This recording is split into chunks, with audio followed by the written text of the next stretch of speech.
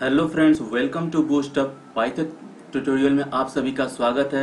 इसमें आज हम लोग पार्ट 11 को कंटिन्यू करेंगे, जिसमें हम लोग मैथ का कुछ बेसिक फ़ंक्शंस देखेंगे, किस तरीके से हम लोग मैथ के फ़ंक्शंस को यूज़ करते हैं पाइथन में, और बहुत ही आसान होता है किसी भी चीज़ का वैल्यू निकालना मैथमेटिक मैथमेटिकल टर्म में, ठीक है? तो चलते हैं, जो भी लोग नए होंगे चैनल पे, फटाफट चैनल को सब्सक्राइब कर दें, और वीडियो को स्टार्ट करने से पहले वीडियो को लाइक कर दें। चलते हैं हम लोग अपने पाइथन सेल पे, और देखते हैं कुछ कोडिंग को, ठीक है? तो यहाँ पे कुछ हम लोग मैथ फ़ंक्शंस का यूज़ करेंगे, ठीक है? तो यहाँ पे लिख देते हैं मैथ फ़ंक्शन यहाँ पे, ठीक है? अब देखिए मैथ फ़ंक्शन का यूज़ करेंगे तो कुछ तो मैथ फ़ंक्शन होता है जो डायरेक्टली आप यूज़ कर सकते हैं। जैसे पावर निकालना है किसी चीज़ का, पाँच का पावर मान लीजिए, दो कर देना है तो यहाँ पे डायरेक्टली आप कर सकते हैं, ठीक है? तो आ गया। या अब अब मान लीजिए यहाँ पे राउंड करना है। राउंड का यूज़ कर सकते हैं आप राउंड ठीक है? अब राउंड का यूज़ करेंगे, मान लीजिए यहाँ पे 45.4 दे देते हैं। तो 45.4 अगर देंगे यहाँ पे तो क्या हो गया ये नियरेस्ट जो इंटीजर रहेगा वहाँ पे ले जाएगा, ले जाएगा आपको यानी 45 ये कर देगा इसका वैल्यू अगर 5 रहता तो 46 कर देता या 5 से ज़्यादा रहता तो भी 46 कर देता।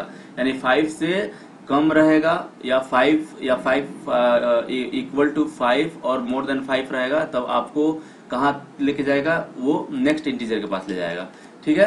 तो देखिए ये हो गया। अगर यहाँ पे इसी को हम लोग ये कर देते 45.5 कर देंगे तो ये 46 इसका वैल्यू कर देगा।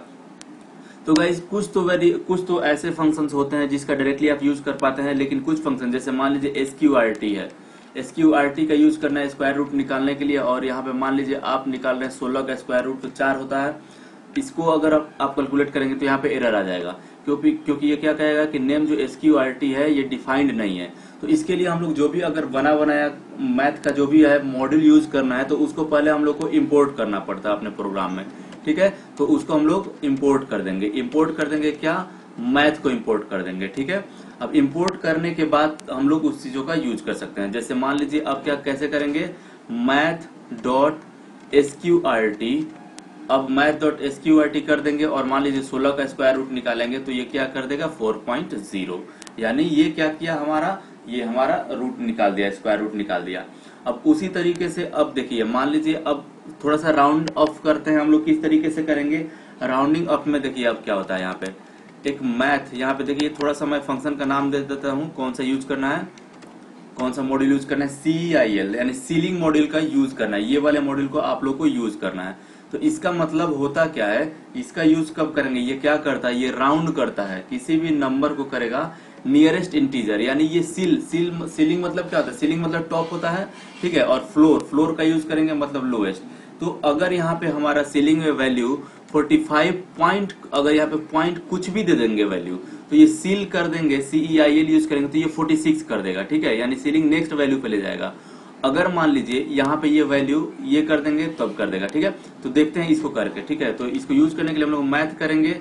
Math dot c e i l use करेंगे हम लोग और सीई आई एल यूज़ करेंगे मान लीजिए 45.2 करेंगे तो ये वैल्यू क्या करेगा? 46 कर देगा, क्योंकि ये नेक्स्ट वैल्यू तक ले जाएगा सीलिंग तक ले जाएगा। अगर इसी को हम लोग यूज़ कर देते हैं math dot floor math dot floor use करेंगे और 45.2 कर देंगे तो ये नियरेस्ट जो भी हमारा इस जस्ट जो नियरेस्ट वैल्यू हो जाएगा, जैसे मान लीजिए ये तो सीलिंग सबसे नेक्स्ट वैल्यू को कर दिया, और ये राउंड ऑफ़ कर देता है लास्ट इंटीजर क्या हो सकता है? तो 45 पे लाके इसको छोड़ देगा।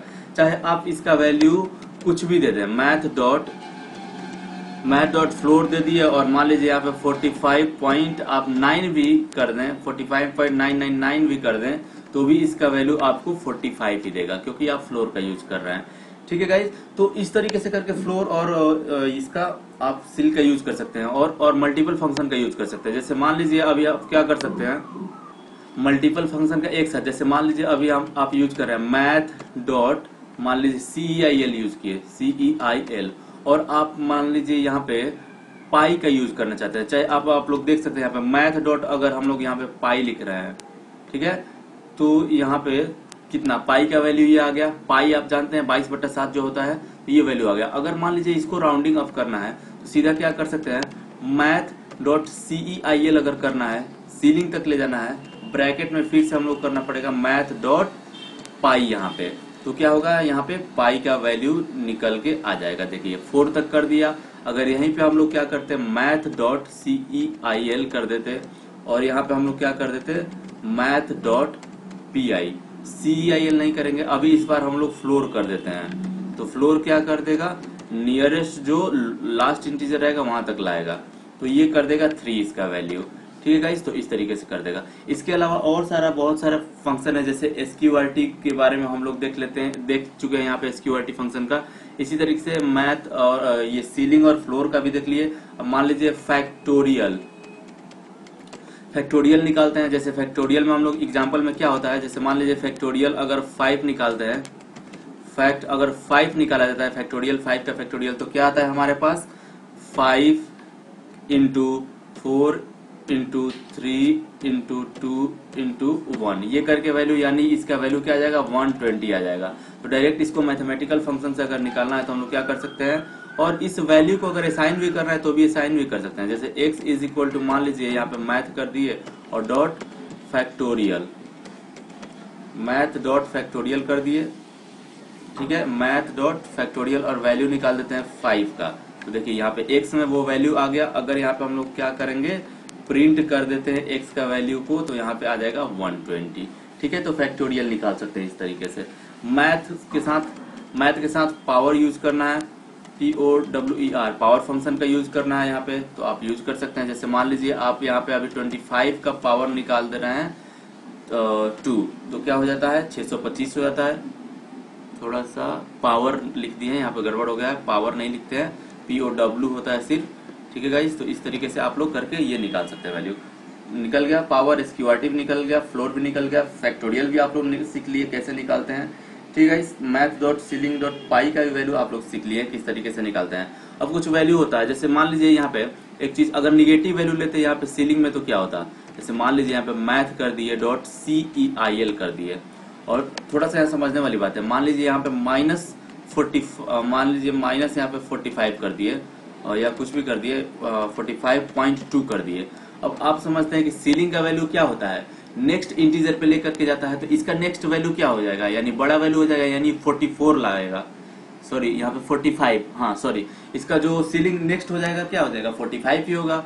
अगर यहाँ पे मैथ डॉट फ्लोर कर दें मैथ डॉट फ्लोर कर दें यहाँ पे, और माइनस इसी चीज़ को रख दें minus forty five point two कर दें तो ये क्या कर देगा हमारा? फ्लोर मतलब इससे एक छोटा वैल्यू पे ला के रखेगा। यानी ये किस पे ला के रख देगा हम लोग को? 45 से जस्ट छोटा क्या होता है यहाँ पे? 46 हो जाता है, क्योंकि ये निगेटिव में हम लोग चल रहे हैं, इसलिए ये ऐसा हो जा रहा है। ठीक है तो इस तरीके से करके मैथ फ़ंक्शन का अब कुछ एब्सोल्यूट एब्सोल्यूट का अगर यूज़ करना है, जैसे एब्सोल्यूट का आप डायरेक्टली भी यूज़ कर सकते हैं यहाँ पे, या आप फ़ंक्शन के साथ भी कर सकते हैं। जैसे मैथ हो गया dot a b s absolute का यूज़ करेंगे। यहाँ पे थोड़ा सा math dot a b s नहीं यूज़ कर सकते हैं आप डायरेक्ट एब्सोल्यूट का यूज़ कर सकते हैं एबीएस का यूज़ कर सकते हैं और एब्सोल्यूट वैल्यू निकालना। जैसे माइनस फोर्टी फाइव पॉइंट ये चीज़ कर दिया, मान लीजिए। तो इसका एब्सोल्यूट वैल्यू क्या होगा? फोर्टी फाइव सेवन एट हो गया, क्योंकि माइनस को ये हटा देगा। एब्सोल्यूट मतलब एग्जैक्ट वैल्यू होता है। तो एग्जैक्ट वैल्यू किसी भी चीज़ का, जैसे फोर्टी फाइव पॉइंट ये हो गया तो इसका वैल्यू क्या होगा? एग्जैक्ट यही वैल्यू हो जाएगा। तो इस तरीके से कर करके आप लोग देखिए क्या क्या सीख लिए, आप लोग एस सीख लिए क्या क्या हम लोग यूज़ करना सीख लिए पावर राउंड का यूज़ करना सीख लिए, ठीक है? इंपोर्ट कर देंगे मैथ को। अब एक और चीज़ मैथ को इंपोर्ट करना मान लीजिए आप मैथ नहीं लिखना चाहें, यहाँ पे बार बार मैथ लिखना नहीं चाहें तो इंपोर्ट कर देंगे हम लोग। इंपोर्ट कर देंगे मैथ को, ठीक है? एज करके एज मैथ को इंपोर्ट करते हैं। मान लीजिए सिर्फ़ एम यूज़ करना चाहें तो ऐसे कर सकते हैं, ठीक है? अब देखिए क्या करेंगे। अगर मान लीजिए यहाँ पे हम लोग लिख देते हैं m dot s q r t m dot s q r t और आप ट्वेंटी फाइव निकालेंगे तो क्या आएगा? ये फाइव आ जाएगा। अब ज़रूरी नहीं है आपको बार बार मैथ लिखने का। एम लिख सकते हैं। एज यहाँ पे करके आप जो भी वेरिएबल का यूज़ कर लेंगे, उस वहाँ पे ये चीज़ असाइन हो जाएगा। आप उसी से उसको कॉल कर सकते हैं। मतलब एक तरीके से इसका ये ऑब्जेक्ट बन गया। ठीक है? तो m dot c e i l का यूज़ करेंगे। जैसे ही यहाँ पे हम लोग कोई नंबर लिखेंगे, ये कर देंगे तो क्या हो जाएगा? इसका नेक्स्ट वैल्यू यानी फोर्टी पंद्रह सौ तैतालीस ये वैल्यू कर देगा। ठीक है गाइज़ तो ये इस तरीके से करके हम लोग बहुत सारे मैथ फ़ंक्शंस का यूज़ कर चुके हैं। साथ ही साथ और भी यूज़ कर सकते हैं, जैसे एम डॉट मान लीजिए साइन का वैल्यू यूज़ करें। साइन का वैल्यू साइन साइन थीटा का वैल्यू कितना होता है? साइन ज़ीरो डिग्री का वैल्यू कितना होता है? ज़ीरो होता है। तो ये ज़ीरो कर देगा। इस तरीके से करके कॉस का यूज़ करना चाह रहे हैं। तो एम डॉट कॉस थीटा का वैल्यू कितना होता है? मान लीजिए कॉस ज़ीरो डिग्री का वैल्यू कितना होता है? लगभग वन होता है। तो वन होता है ये लगभग। तो इसके लिए हम लोग थोड़ा सा देख लीजिए, यहाँ पे लगभग वन होता है मतलब वन होता है इसका, ठीक है? तो इस तरीके से करके आप लोग यूज़ कर सकते हैं इन सब फ़ंक्शंस का मैथ का बना हुआ। है ठीक है तो ये था आज का हमारा लेक्चर अगर वीडियो अच्छा लगा है तो प्लीज़ वीडियो को लाइक करें प्रैक्टिस करें आप लोग। हमेशा पाइथन कोडिंग का बहुत ही आसान होता है, ठीक है गाइज़ चैनल को सब्सक्राइब करें। Thank you for watching